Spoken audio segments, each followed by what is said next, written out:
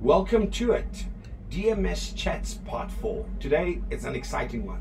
We're talking about the exhibitors, and I'd like to welcome Kevin here with me from the DJ Mix Club. And yeah, man, Kevin, let us know what the DJ Mix Club is actually doing this whole exhibition. Tell us what's happening. Well, thanks for having me, Christos. Um, well, DJ Mix Club, we're actually a retail store and a school, right? So we're gonna have um, a very big, big pop-up stand of DJ Mix Club there, and we're gonna hold six different exhibitor stores as well.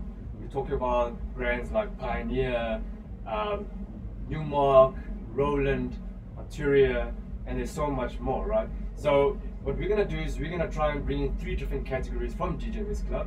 It's gonna be broken down into DJ gear, production, and also live production, right?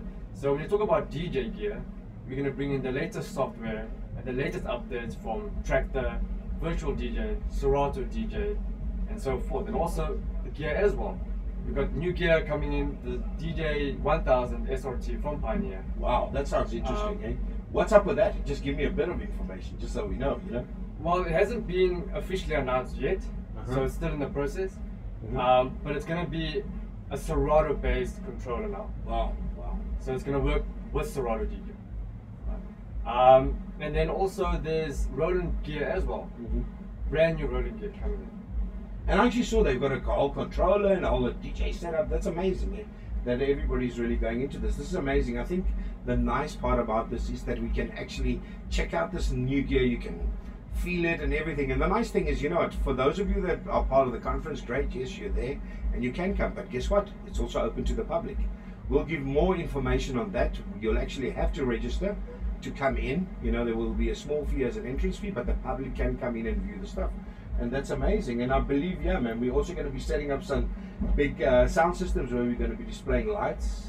And I believe even Pioneer's got a sound system actually for clubs. Hey? Yeah, not just um, brand new controllers, but Pioneer also released their own speakers as well. Um, they might be going into line arrays as well, big clubs. So it's going to be a very, very nice system.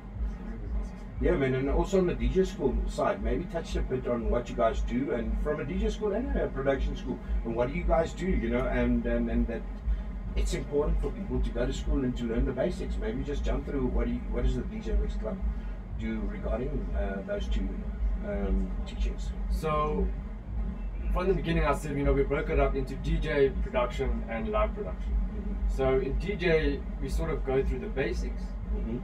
And then um, we can either use sort of CDJs or you can go into controllers, which now the new technology is going into, which is controllers now. Um, and then into production, you know, we've got Ableton, we've got Komplete, um, we've got Reason as well, which is very, very big.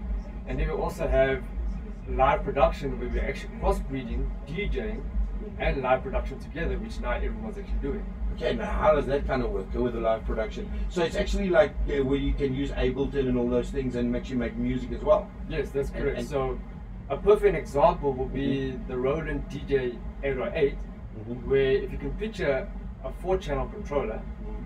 so you'll be doing basic mixing, EQing, mm-hmm. and then the production side actually has a built-in sequencer, a drum sequencer. Yep. So you can actually put in drum beats while you're actually mixing tracks together. Wow, So that's that's, yeah, so that's basically live production and DJing together. Yeah, and that's kind of important for this conference as well. Don't forget, it's power performance, and we're going to be so, we're seeing some amazing performers that are going to be using a lot of this equipment, some other equipment, and just this is it's all about how to enhance your performance. I think um, you know we're happy to have them on board. Another thing that I must say is um, we're going to be having exhibitions all over, you know, for throughout that week. So make sure you get your tickets. Come along.